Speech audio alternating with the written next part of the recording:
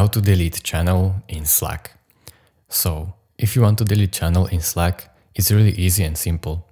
Right here you can see all your, your channels. So just click on channel which you want to delete. In my example, it is this old channel. Right click on it and click on leave channel.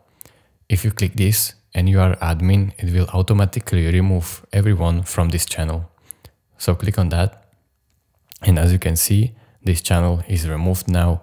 And again, you can do this only if you are admin. So if you're admin, it will remove all the people from this channel and basically delete the channel. So if this was helpful to you, please consider subscribing and liking this video. Thank you very much for watching. See you next time. Bye.